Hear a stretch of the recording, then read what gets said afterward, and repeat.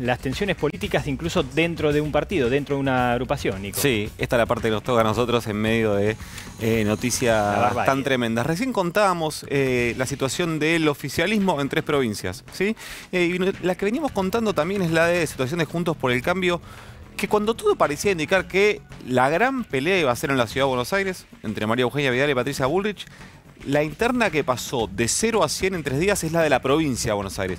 Eh, veníamos contando la situación, las tensiones que hay por la posible candidatura de Diego Santilli, que hoy es vicejefe de gobierno de la Ciudad de Buenos Aires.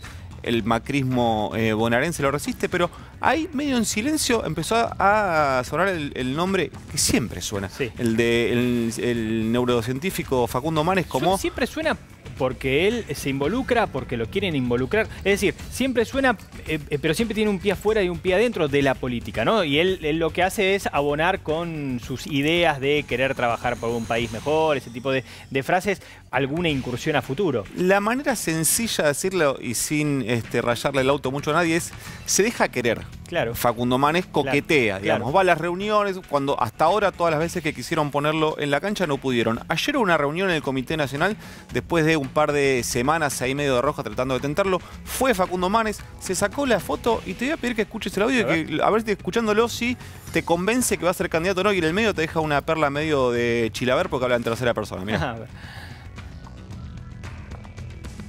Si el radicalismo se pone de pie, lidera y convoca se abre y convoca a todos los sectores.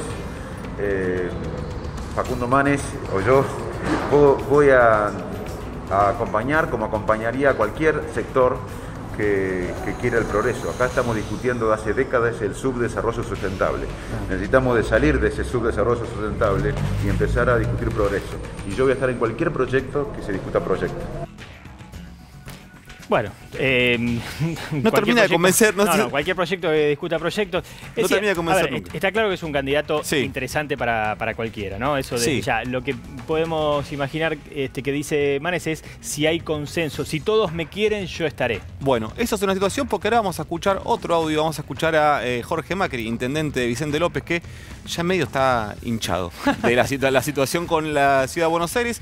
Y dijo esto y escucha por como él también se sube a la candidatura escuchémoslo. Si desde la ciudad nos quieren imponer una candidatura antes de tiempo, no sé bien por qué cosa, bueno, nosotros vamos a plantar bandera y probablemente competiremos eh, en, una paso, desgraciadamente, en una discusión que me parece que no debería ocurrir ahora. Vos, Jorge, si Santilli es candidato, ¿vos irías a una paso contra él? Sí. ¿Por qué? Porque me parece que la provincia se merece definir quiénes son sus candidatos, no deben ser impuestos de la ciudad. Oh, entonces ahí ya tenés, tenés, hoy la foto es Santilli, Jorge Macri en una paso del PRO. Y si se suma Manes, y, si Manes le gana a todo el PRO y de repente el triunfo en la provincia del radicalismo, sería medio raro.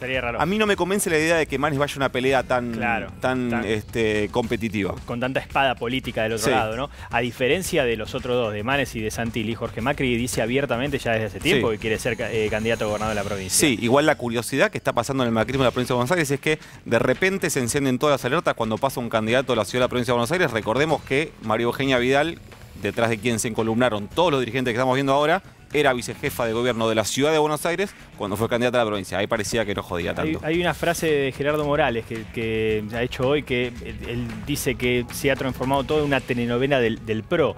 Y no parecía, ¿no? Porque se suponía que al ser menos iban a estar todos más, más unificados. Bueno, de aquí hasta las elecciones habrá muchísimo Mucho de esto.